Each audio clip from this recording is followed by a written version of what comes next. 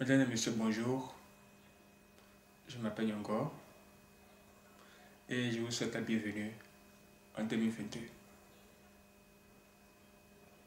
Ça n'a pas été facile. Ça a été certainement difficile. Mais grâce à Dieu, nous avons surmonté toutes les difficultés de 2021 et nous avons atterri en 2022 sur un vaste chantier, un espace libre, un espace vide où nous devons travailler encore. C'est-à-dire que 2022 est comme un nouveau terrain, la question d'un nouveau terrain, la question d'une nouvelle zone, d'un nouveau site. Un site où rien n'a encore fait. Tout ce que les gens ont pu faire, c'est d'enlever la poussaille, les herbes, les arbres inutiles, tout, tout, tout, tout. Mais l'espace vide est là et bien euh, démesuré, bien, bien orienté, bien cadré. Là, on vous dit, allez-y, travaillez. Allez-y, travaillez. Allez semer. Et c'est nous qui devons aller semer. C'est nous qui devons aller travailler sur cette terre-là. Parce que si nous ne travaillons pas, il n'y aura rien qui va pousser sur cette terre. Nous devons mettre cette terre en valeur. Ça veut dire que celui qui va travailler en 2022 va voir beaucoup de bonnes choses. C'est inévitable. Il faut lutter et travailler pour avoir de bonnes choses. Ça veut dire que 2022 s'annonce comme une année un peu difficile, mais il y a beaucoup de bonnes choses dedans. Il y a beaucoup de bonnes choses. Si vous ne dormez pas, si vous n'êtes pas paresseux, vous allez vraiment avoir beaucoup de choses cette année. Ceux qui vont travailler, ceux qui ne vont pas dormir, ceux qui vont prier, ceux qui vont confier leur projet à Dieu. Dieu vraiment va faire beaucoup de choses. Ayez la crainte de Dieu. Et soyez juste dans toutes vos voies. Le message de ce matin, c'est tout commence par l'obéissance. Tout commence par l'obéissance. De quoi s'agit-il? Allons de Deutéronome 28, verset 1. Prenez votre Bible. Ça, c'est ma Bible. Est-ce que vous avez la Bible Souvent, les gens peut-être très chers, mais n'ont pas de Bible. Pour un camion de vos, portables, vous pouvez télécharger une Bible. C'est gratuit même en plus. Bien. Il est écrit en Deutéronome 28, verset 1.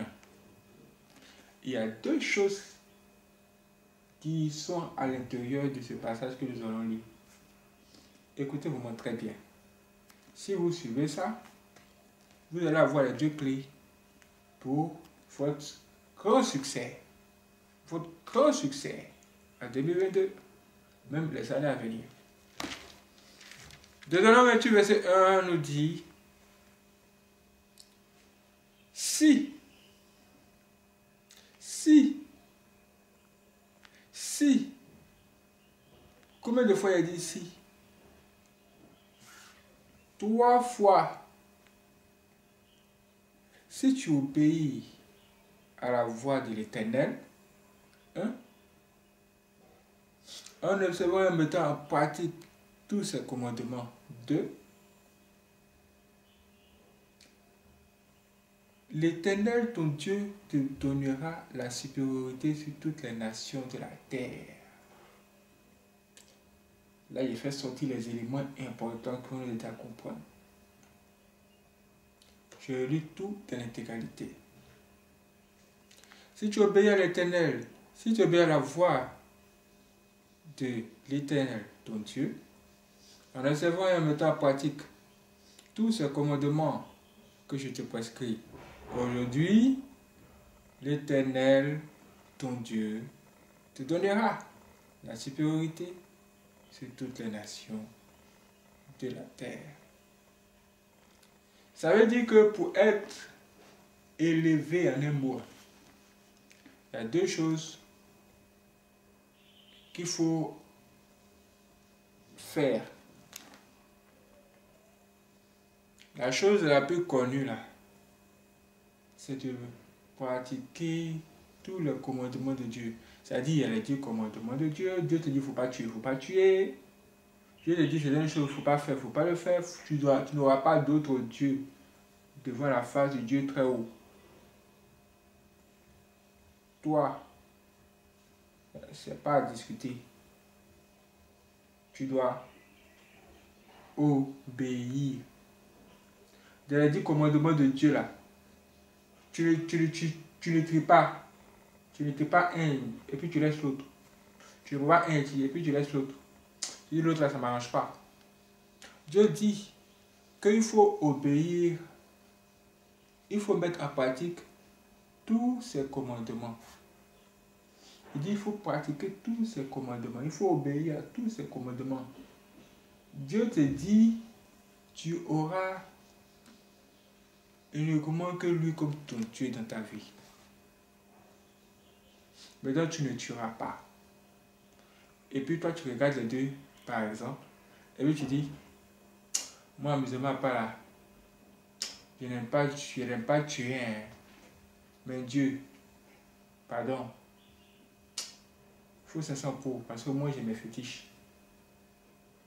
Je construis mes fétiches, j'ai un pied sur mes fétiches, et puis tu as à côté quoi Deux dieux, c'est mieux qu'un dieu.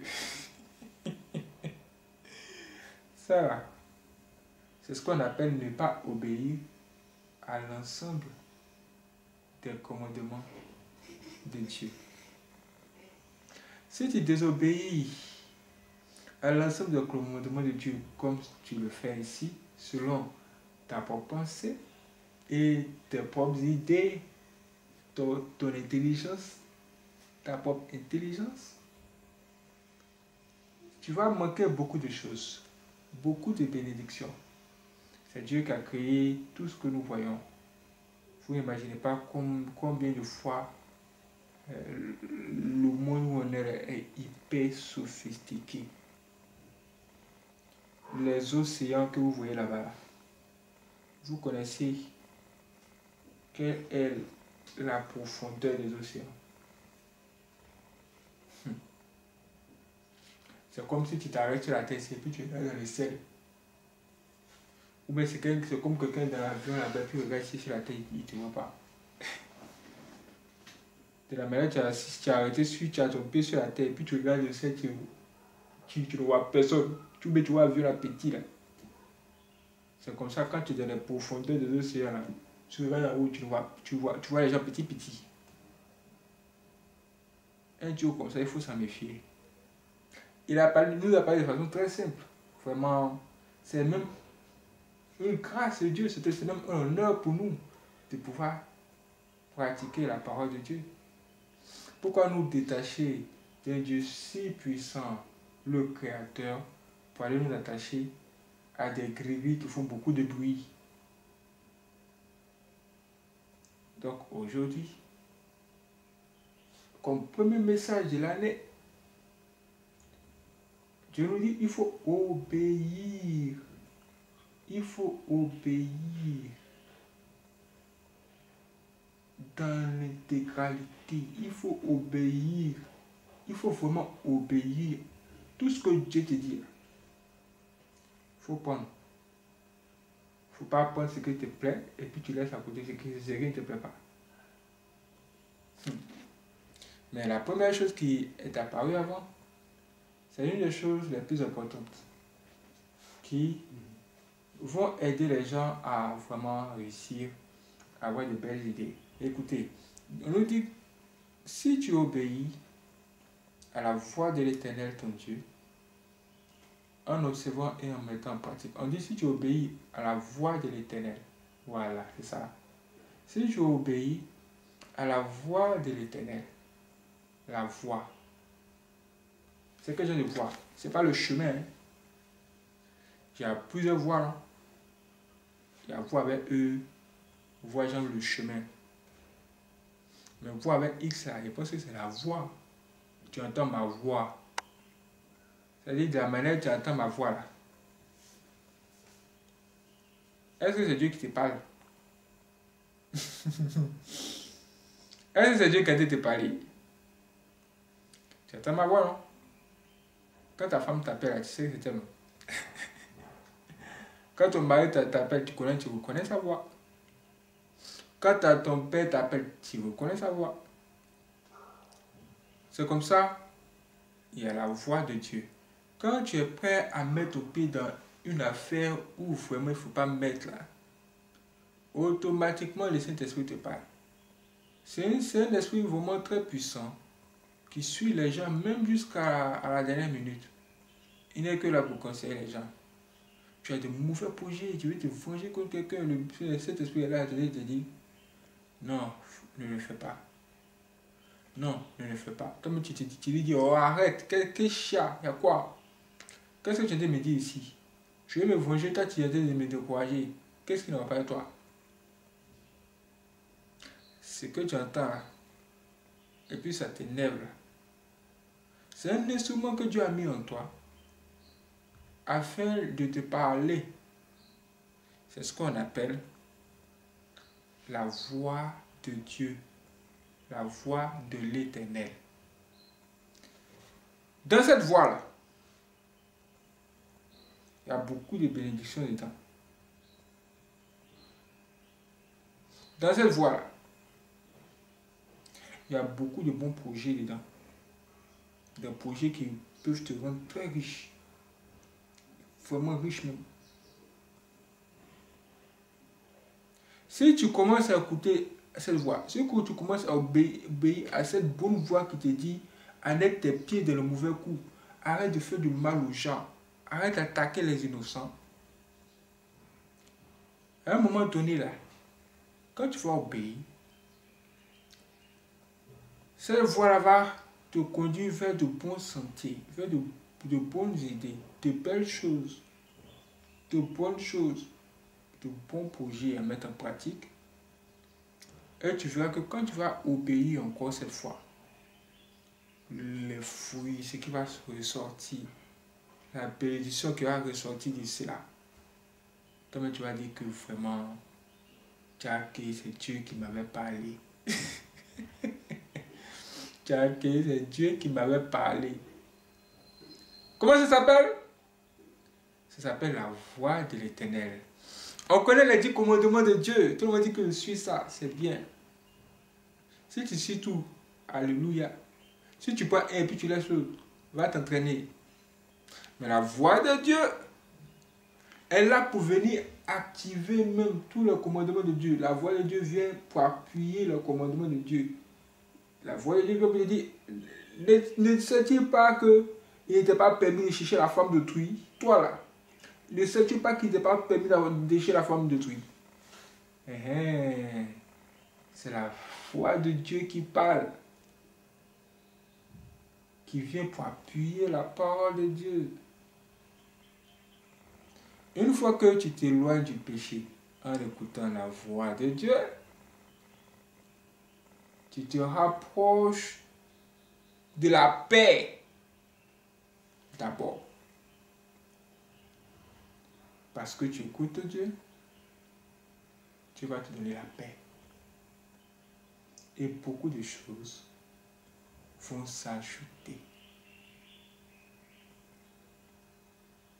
Ne négligez plus la voix de cet Reniez la voix du mal. Parce que la voix du mal se trouve aussi en vous. Souvent, vous voulez prendre une décision, c'est là les deux voix apparaissent. Boum. Qu'est-ce que vous faites ici?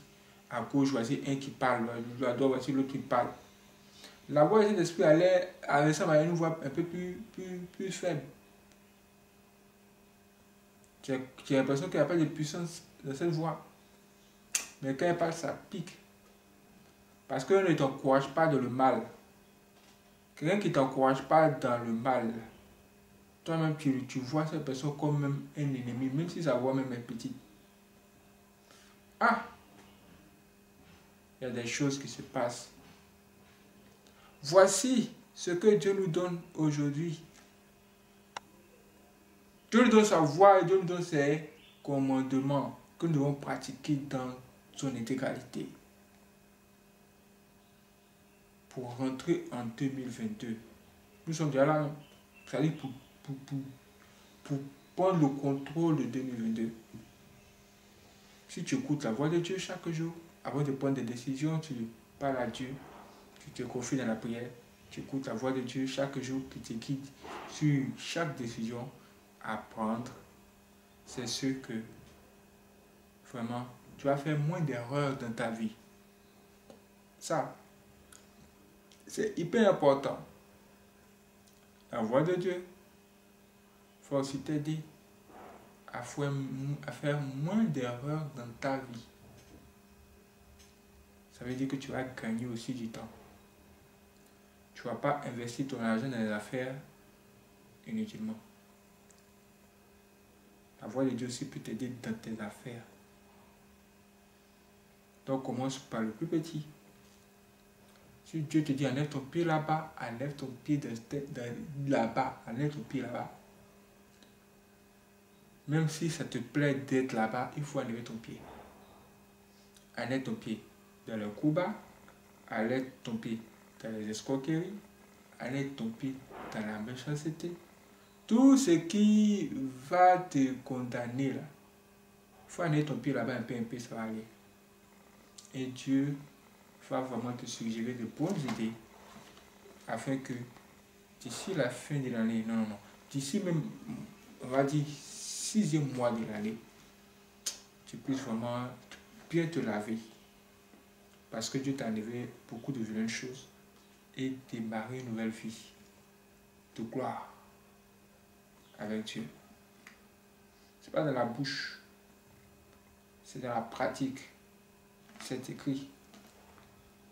Nous tous, on dedans. On va descendre sur le terrain. On va descendre sur le chantier. Chacun va commencer à planter maintenant c'est ça. Planter maintenant ces choses. Le terrain est vaste. Est-ce que vous êtes prêts? Réunissez vos forces. Parce que 2022, c'est une année de travail. Bon boulot à tous.